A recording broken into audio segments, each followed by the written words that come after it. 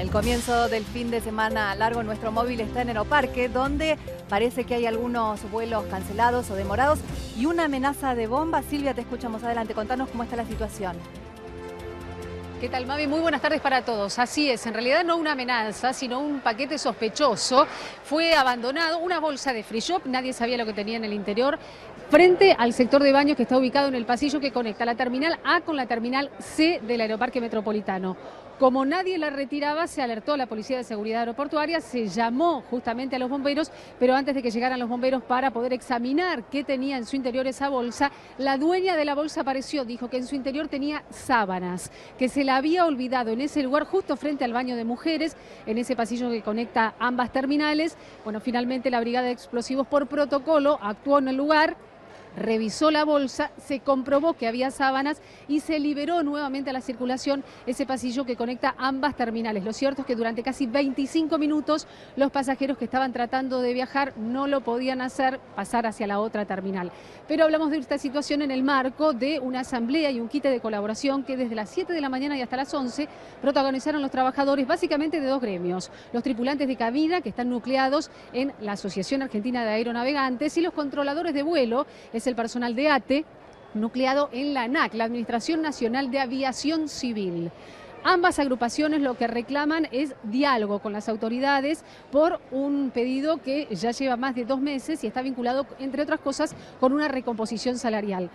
¿Qué derivó esto? Bueno, básicamente en cancelaciones y también en demoras de vuelos. A esta hora, y los invitamos a ver la pantalla que tenemos aquí, bueno, un vuelo cancelado, 11 demorados pero la medida de protesta, según la empresa Aerolíneas Argentinas, afectó a 20 vuelos con cancelaciones y 10 con demoras. Los sindicatos dicen lo contrario, que son menos cantidad de vuelos los afectados. Lo cierto es que los pasajeros, también como ustedes pueden ver, de a poquito están tratando de reprogramarlo, sobre todo aquellos que iban al sur del país, a la zona de la Patagonia. Otros ya desistieron de hacerlo, quienes tenían hoy alguna actividad que cumplir en algunos de los destinos eh, de cabotaje argentino.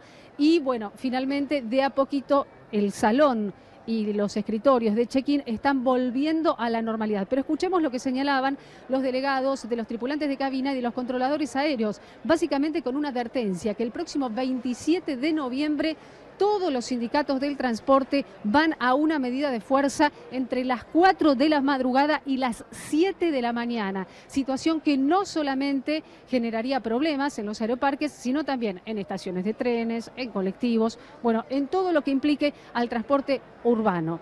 Esto es lo que decían los delegados sindicales. No nos ha llamado nadie, no nos ha citado nadie a una conciliación, a una audiencia de parte de del Ministerio de Producción y Trabajo no tenemos ninguna novedad. Así que este es el gobierno del diálogo, que ante despidos, ante una compañera despedida en Flybondi, por el solo hecho de pensar en poder afiliarse a su sindicato de actividad, está despedida e internada ahora la compañera por todo lo que está viviendo. En este momento me decían que, que la tuvieron que internar. Hay vuelos que, las empresas mismas fueron adelantando, otros que lo fueron atrasando, dado a que nosotros hemos avisado con antelación.